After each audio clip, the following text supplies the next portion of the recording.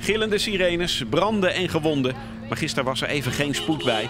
Op de 112-dag in het Zuiderpark kon iedereen voor een dagje politietje of brandweerman spelen.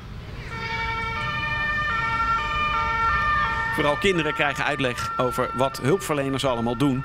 Zoals bijvoorbeeld de strandpolitie. Nou ja, wij eh, gebruiken deze boot, of in ieder geval de jeep, om die te, de boterwater te laten vanaf het strand. Want zoals je begrijpt, kan je met een gewone auto kan je niet door het zand rijden en dan loop je, en loop je vast. Maar het leukste is natuurlijk om het zelf uit te proberen.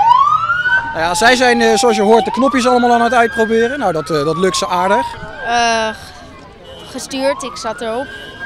Maar hij stuurde alleen niet, hè? Beetje jammer. Ja.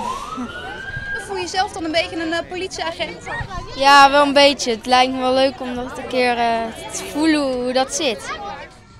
Gewond zijn voor één dag. Dat is ook geen probleem. De kinderen kunnen een verbandje krijgen, of een blauw oog, of zelfs even knock-out op een brancard liggen. Je wordt hier verpleegd op de 112-dag. Waarom heb je pijn?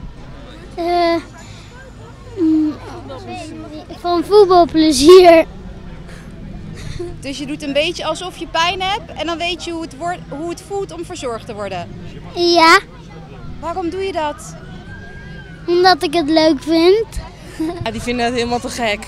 Echt, eh, een wondje. Oh ja, ik wil ook een wondje. Ik wil ook een blauw oog. Ja, dat is gewoon heel leuk. Ja, het is, je kan het zo weer afpoetsen, dus dat vinden ze echt heel leuk. Dus ook altijd heel druk in de tent. Maar toch wil je deze mensen het liefst zo min mogelijk tegenkomen. Nee, dan is het foute boel.